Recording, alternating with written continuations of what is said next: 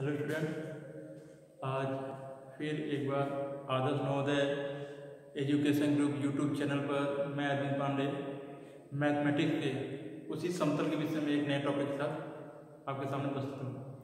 आज का हमारा जो टॉपिक होगा, वो होगा एक समतल और एक रेखा के बीच का कोण। पिछले में हमने क्या बताया था? दो समतलों के बीच का कोण। आज हम पढ़ेंगे एक रेखा और एक समतल। यदि रेखा और समतल दिए हों तो उनके बीच का कोण क्या होता है? बहुत ही सरल है, बहुत सिंपल है, बहुत सरल तरीके से आपको समझ में जाएगा चलिए, आते हैं हमारा टॉपिक है, एक समतल और एक रेखा के मध्य का कोण। ठीक हमने माना कि ये एक समतल है। ठीक? अगर समतल है तो समतल का समीकरण क्या होता है?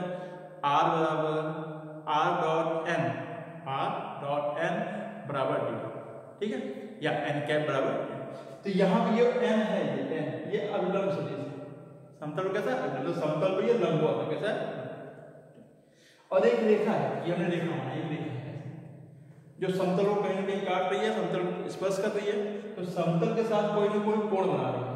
कोई ना कोई कोण?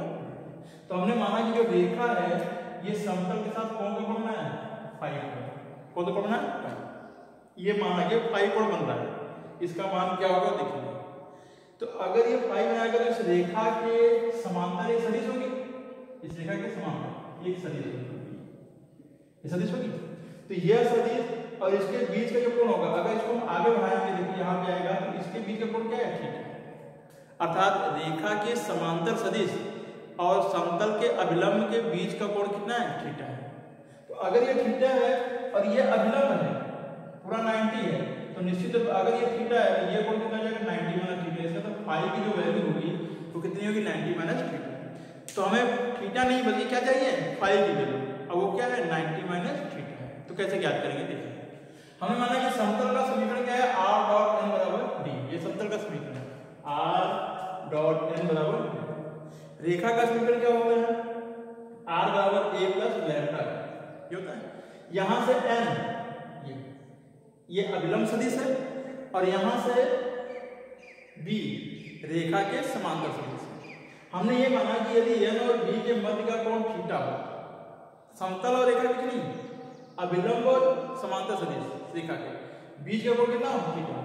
तो cos थीटा, दो सदिशों के बीच का कोण कैसे निकालते हैं? cos थीटा बराबर b डॉट n बटे मापांक b मापांक। लेकिन किसकी वैल्यू है? समतल के अभिलंब और रेखा के समांतर सदिश के। लेकिन हमें चाहिए क्या? रेखा और समतल के बीच का कोण। तो हमने क्या देखा कि रेखा और समतल के बीच का कोण कितना है? 90 माइनस थीटा है। 90 माइनस तो हम क्या करेंगे यहाँ से कि चित्र से रेखा और समतल के मध्य का कोण फाई, जिसको हमने 90 माइनस थीटा माना जहाँ थीटा मान कितना है? 90 माइनस फाई। तो वहाँ से अगर पैरेलल है तो क्या निकालेंगे? साइन हमने साइन फाई क्यों निकाला? क्योंकि फाई की वैल्यू जो है 90 माइनस थीटा है। इस समय एक रिज़ल्ट प्राप्त हो जाएगा। तो साइन 90 माइनस थीटा रखा हमने, और साइन 90 माइनस थीटा क्या होता है? थीटा। जो हमने पढ़ा हुआ है 10th में भी 11th में भी कि साइन 90 माइनस थीटा बराबर cos थीटा यहाँ cos थीटा आ गया और cos थीटा को हमने यहाँ ज्ञात किया है क्या ज्ञात किया है? B डॉट n बटे मापांक b मापांक तो हमने देखा क्या कि sin फाई की वैल्यू दिया है। यहाँ से अगर फाई की वैल्यू निकालेंगे तो क्या जाएगा? sin inverse b dot n बटे मापांक b और तो आपने क्या देखा? सेम कंडीशन है। अंतर क्या है? साइन के दो समतलों के बीच में कॉस के रूप में आया था। लेकिन यहाँ पे एक रेखा और एक समतल है। तो किसके रूप में आएगा? साइन जब भी एक रेखा और एक समतल की चर्चा की जाए तो समझ लीजिए किसके बीच में कोण बन रहा है, वो जो कोण बन रहा है, उसका जो रूप व्यक्त करेंगे, वो किसके रूप में व्यक्त करेंगे? साइन के रूप में। साइन इनवर्स रूप में। तो एक समतल और एक रेखा के बीच का कोण फाइव बराबर sine inverse B dot N बटे मापांक बी मापांक। बी का मान रेखा में समांतर सदिश होगा एन का मान समतल में अभिलंब सदिश होगा, जो प्रश्न में दिया अगर इसी को कार्तीय रूप बना जाए क्या बना जाए? कार्तीय तो बी और एन का मान रखेंगे हम। तो बी का जो मान है, उसके जो दिक अनुपात होंगे, उसको हमने स्मॉल ए लिया है, और एन के दिक अनुपात को हमने क्या लिया है? कैपिटल तो ठीक वही किया जाएगा फाइव बराबर साइन इनवर्स देखिए, ध्यान रखना है sine inverse small A capital है small B capital B small C capital C root में A square B square C square small में रूट में A square B square C square capital जहाँ small A B C रेखा के दिक अनुपात या ये कह सकते हैं कि रेखा के समांतर सदिश के दिक अनुपात तथा कैपिटल एबीसी समतल के दिक अनुपात या ये कह सकते हैं कि समतल पर अभिलंब के दिक अनुपात तो या तो दिक अनुपात दिया होगा, और या फिर सदिश दिया होगा. अगर दिक कोसाइन भी दिया है तो भी कोई दिक्कत नहीं है. दिक कोसाइन क्या हो जाएगा? हमें पता ये हो जाएगा आपका यहाँ से अगर दिक कोसाइन रखेंगे तो ये वैल्यू चली जाएगी। और यहाँ क्या जाएगी साइन इनवर्स यहाँ L1 L2 M1 M2 N1 ऐसा हो जाएगा। इसका मतलब L1 M1 N1 ये किसकी वैल्यू हो जाएगी? ये रेखा की हो जाएगी। और L2 M2 और N2 किसकी हो जाएगी? समतल की। हो तो कुछ भी हो, इसकी इसकी आपको आवश्यकता नहीं पड़ेगी आपको इससे सॉल्व करोगे तो रिज़ल्ट आ जाएगा, क्योंकि यहाँ पे A square B square C square जो वैल्यू होगी। अगर वो दिख को दिया होगी तो ये हो जाएगी। तो ठीक है, आपको ये ये याद रखना है और ये याद रखना है, बस। तो ध्यान क्या रखना है? बहुत सरल है कि एक समतल और एक रेखा के बीच का कोण साइन के रूप में व्यक्त करते हैं। इतना याद रखना है। और बनेगा किसके? वो तो अपने आप समझा जाएगा, समांतर सदिश और अभिलंब के रूप में प्राप्त होगा, लेकिन साइन के रूप में जबकि अन्य में किसके रूप में प्राप्त था कॉस रूप ठीक है? चलिए, इसके कुछ शर्त हो जाएँगे। क्या हो जाएँगे? शर्त। शर्त में क्या होगा कि क्या समतल रेखा के समांतर है? क्या जो दिया गया समतल है, वो रेखा के समांतर है? या हम ये कह सकते हैं कि क्या रेखा समतल के समांतर है? चलिए जब पहला शर्त। शब्द में जब रेखा समतल के क्या हो समतल के समान। अब देखिए, ग्राफ वही है। अगर ये रेखा ऐसे ना होगा ऐसे हो किसी ऐसे हो ये रेखा होगी। क्या होती है? तो ये अभिलंब रेखा कैसा होता लंबवत होता तो उस कंडीशन में जो अभिलंब होगा, अभिलंब एन वो लंबवत होगा किस पर? रेखा के समांतर सदिश रेखा के समांतर सदिश रेखा का समांतर सदिश क्या होता है? तो उस कंडीशन में जो हमारा रिज़ल्ट आएगा वो जाएगा एन डॉट बी बराबर, या इसको ऐसे लिखते हैं बी डॉट एन आपको ध्यान रखना है कि जब रेखा और समतल समांतर हो, ये कंडीशन होता है। जबकि समांतर कंडीशन अनुपातिक होता है, लेकिन यहाँ पे चेंज हो जाएगा क्योंकि रिज़ल्ट हमारा साइन में आया हुआ है। एन डॉट बी बराबर क्या हो जाएगा? और दूसरा कंडीशन जब जब रेखा समतल पर क्या हो समतल पर लंब। अगर ये रेखा इसे यही है, ये रेखा लंबवत आ जाए तो इसका जो समांतर सदिश होगा वो क्या हो जाएगा?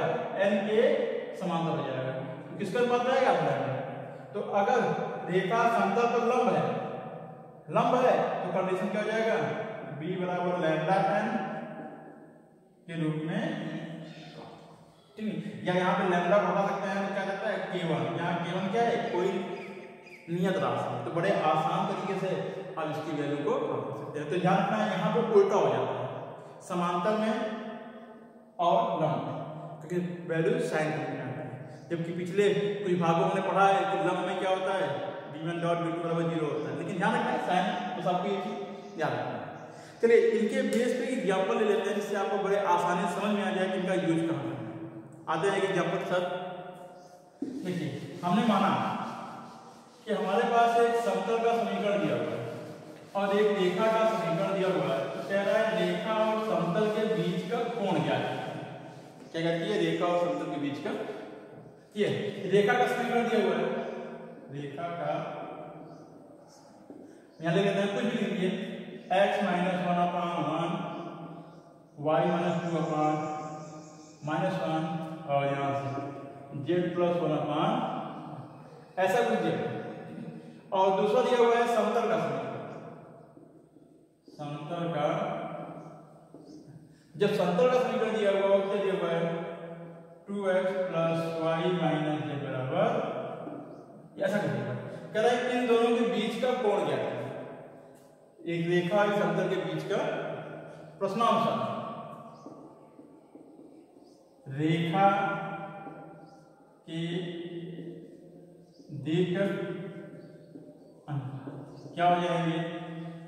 रेखा के दिक अनुपात होता है तुलना करने पर ए बराबर ए बी बराबर माइनस ए और सी बराबर क्योंकि रेखा का वीडियो हमने बताया है तो उसमें रेखा की तुलना करोगे तो जो बटिंग होता है, ये क्या होता है? अधिक अनुपात कहलाता है, जो पिछले वीडियो में एक्सप्लेन किया। यहाँ ध्यान रखना आपको ये अपने अपॉन वाली क्या होता है? अधिक क्योंकि ये मानक रूप में तथा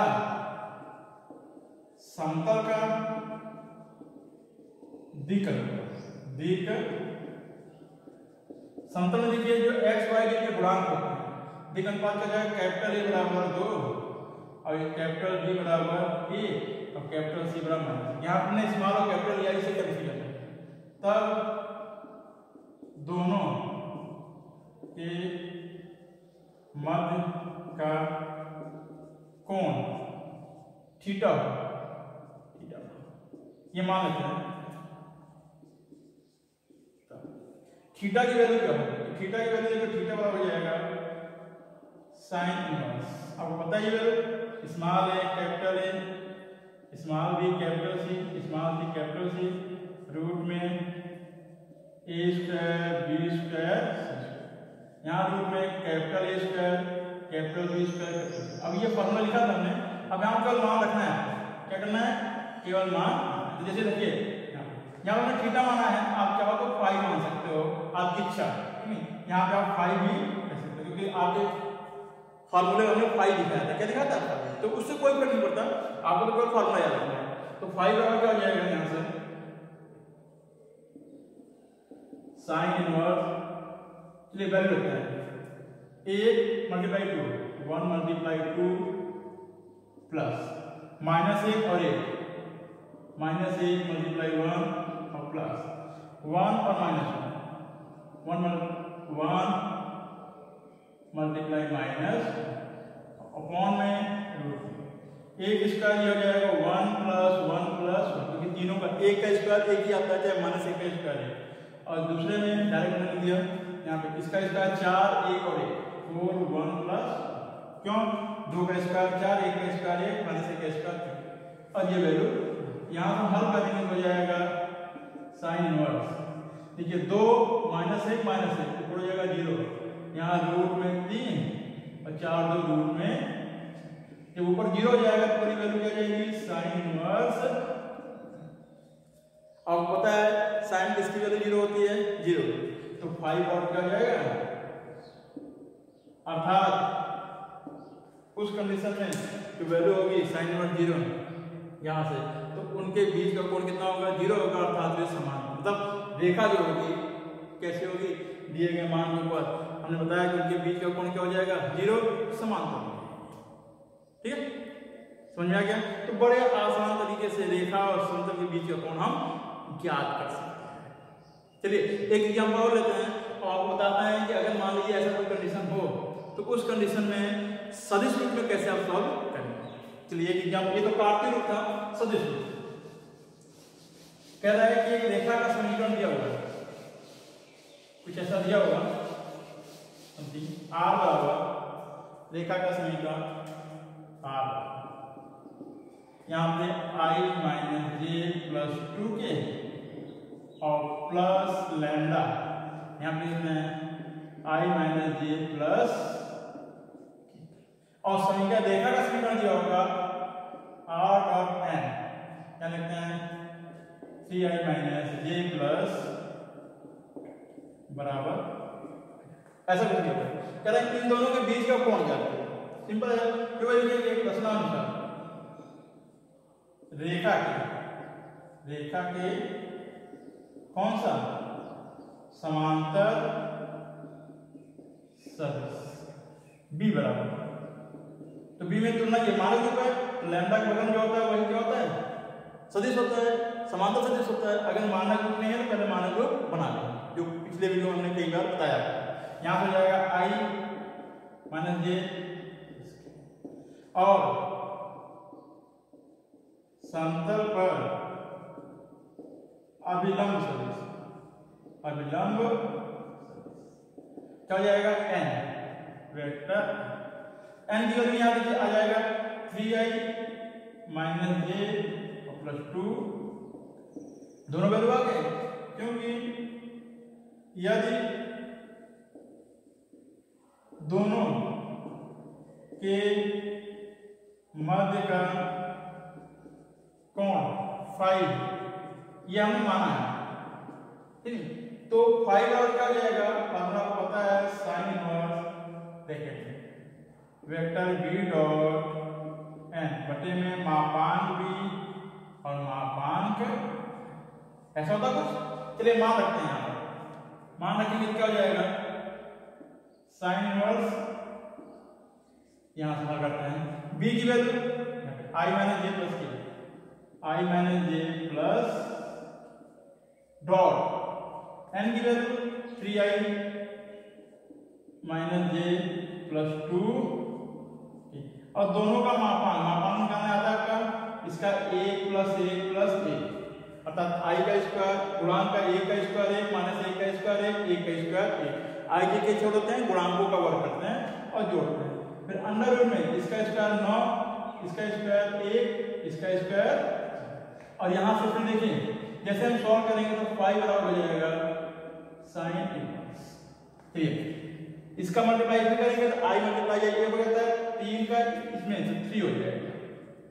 माइनस एक का एक में प्लस एक। और दो का एक में प्लस बटे इसका हो जाएगा रूट में थ्री और इसका हो जाएगा नौ एक दस और चार। फोर्टी। फिर जाएगा आपका साइन इनवर्स ठीक है? तीन एक चार सिक्स अपान रूट में मल्टीप्लाई कर दिए फोर्टी और चाहिए तो आप मल्टीप्लाई में करके परिमेय में कर सकते हैं आपकी है। तो यही हमारा क्या जाएगा? फाइव की क्योंकि ये स्टैंडर्ड फॉर्म तो है नहीं। एक बटा दो हो वन रूट टू हो ऐसा कुछ तो है नहीं। इसलिए इतना ही लिख के हम छोड़ देंगे। अगर स्टैंडर्ड फॉर्म होगा तो वहाँ पे तीस डिग्री पैंतालीस डिग्री साठ डिग्री नब्बे डिग्री एक सौ बीस डिग्री समथिंग को वैल्यू होगी वो ज्ञात होगी इस प्रकार से हम इनके बीच का कोण ज्ञात कर सकते हैं।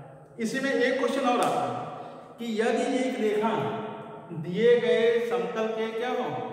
समांतर दिए गए समतल के क्या हो? समांतर ठीक तो उस कंडीशन में क्या रिज़ल्ट होगा? कैसे? उस कंडीशन में m की वैल्यू क्या प्राप्त होगी? कांस्टेंट की वैल्यू क्या प्राप्त होगी? ऐसा कुछ कहेगा। मतलब बीच में कोई ना कोई कांस्टेंट दे देगा। और कहेगा कि अगर रेखा समतल के समांतर है तो उस कंडीशन में लैम्डा का मान के का मान, m का मान ज्ञात तो वहाँ पे समांतर का प्रतिबंध रख करके हम क्वेश्चन को सॉल्व करेंगे। चलिए एक एग्ज़ाम्पल इसमें लेते हैं। देखिए, बहुत ही सरल है। ये एग्ज़ाम्पल के माध्यम से आपको समझ में आते हैं कि आपको क्वेश्चन को कैसे सॉल्व करना है। ठीक है तो क्वेश्चन बहुत ही सरल होते हैं। आपको केवल फार्मूला रखना है और फार्मूले के आधार पर ही क्वेश्चन को आपको सॉल्व करना है। यहाँ हम लेते हैं कि एक समीकरण दिया हुआ है। कह रहा है कि मान लीजिए रेखा का समीकरण है। रेखा का समीकरण। ये प्रश्न दिया होगा कुछ ऐसा दिया हुआ है आर बराबर i minus two a plus कुछ भी लिख देते हैं, और प्लस यहाँ पे लैम्डा और जाएगा कितना? टू आई प्लस जे और प्लस ऐसा कुछ लिख दिया हमने रेखा का समीकरण और समतल का समीकरण कितना है?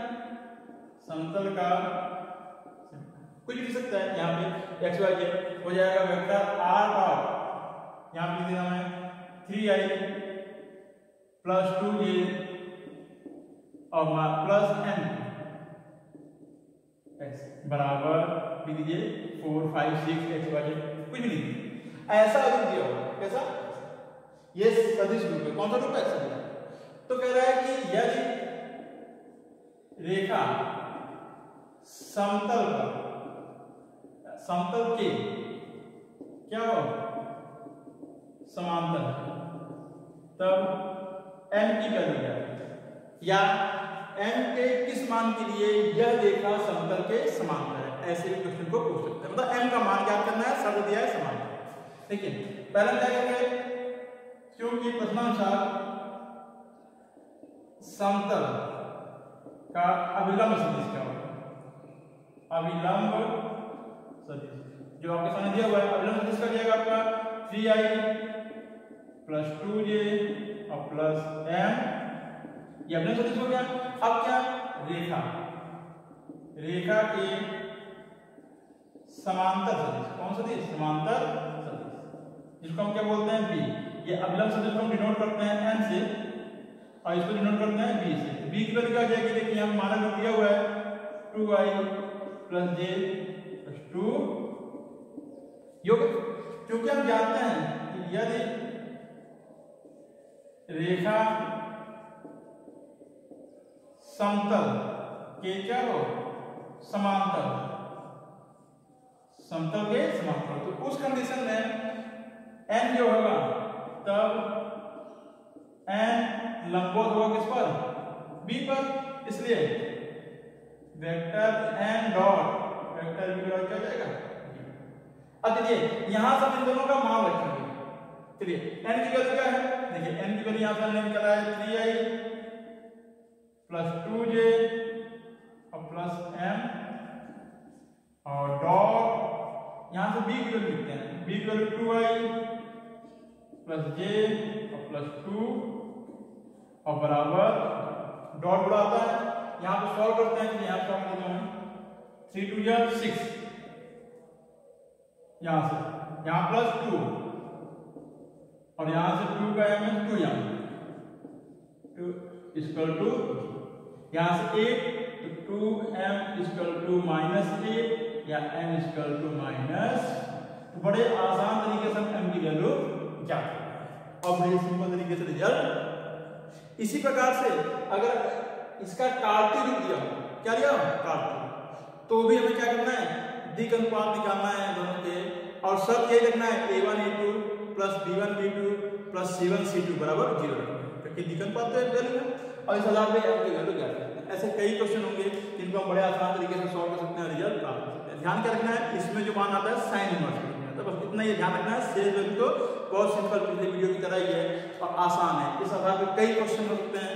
आपको क्वेश्चन को लेना है सॉल्व करना है एग्ज़ाम्पल को हल करना है। जितना आप प्रैक्टिस करेंगे, उतना ही क्वेश्चन आपके लिए आसान हो तो घर पर रहिए आप, स्वस्थ रहिए और अधिक से अधिक अध्ययन करिए और समय का सदुपयोग करिए। नेक्स्ट टाइम में नेक्स्ट वीडियो में नए टॉपिक के साथ फिर मिलेंगे। जय